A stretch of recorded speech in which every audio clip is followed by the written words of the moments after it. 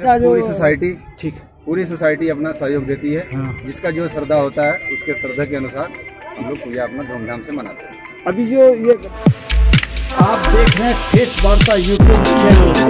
खबरों की जानकारी के लिए यूट्यूब आज हम खड़े हैं ग्रेटर नोएडा के ओमिक्रॉन सेक्टर में। देखते हैं यहाँ पर छठ पूजा को लेकर तैयारी चल रही है। वहीं के ओमिक्रॉन फ़र्स्ट के निवासियों से वार्ता करते हैं। भाई साहब अपना नाम बताइए और बताइए जो गड्ढा खुद रहा है इसमें किस किन किन के सहयोग से करना है? मेरा नाम जयप्रकाश महरोलिया है। जी। और ये छठ पूजा की तैयारी हो रही है। जी।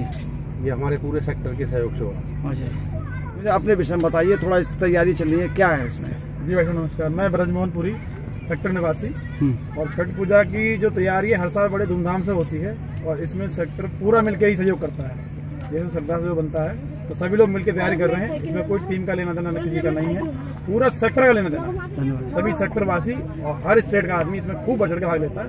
हर साल से बढ़िया बनाते हैं। साहब आप दो शब्द आप भी बताइए सेक्टर के रहने वाले क्या नाम है आपका? नमस्कार हमारा नाम प्रकाश सिंह।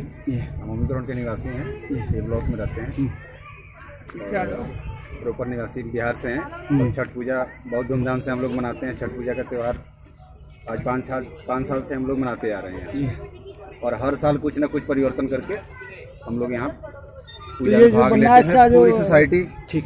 पूरी सोसाइटी अपना सहयोग देती है। हाँ। जिसका जो श्रद्धा होता है उसके श्रद्धा के अनुसार हम लोग पूजा अपना धूमधाम से मनाते हैं। अभी जो ये गड्ढा बनाया गया है क्या स्थायी रूप से रहेगा किस तरह से बनाएँगे? जरा आप ये बताइए जो इसका निर्माण हो रहा है इस विषय में बताइए चार तरफ़ से पक्का किया जाएगा क्या किया जाएगा? जी जी। इस बार थोड़ा सा तरक्की है।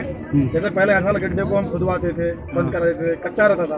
तो इसमें नीचे पानी रहता था। हाँ हाँ। भक्तजनों जो आते थे जो छठ पूजा के भक्तजनों आते थे उनको पैर में कचड़े वचड़े का ज़्यादा वो माहौल होता था ये कुछ कुछ पैर में हल जाते थे पत्थर वगैरह आ जाते थे। इसकी वजह से हम लोग इस बार सोचे हैं कि इसको प्रॉपर धुलाई करके नीचे से किसी को दिक्कत ना हो कुछ पैर में ना हले हम्म। इस वजह से तो दार्जिलिंग को किसी को दिक्कत ना हो फिर इसको हम बराबर जब हो जाएगी तो फिर इसको भर भी सकते हैं। ठीक ठीक ठीक। अगले साल और कीचड़ की वजह से ज़्यादा की वजह से यहाँ पे परेशानी होती है परेशानी भी धन्यवाद साहब।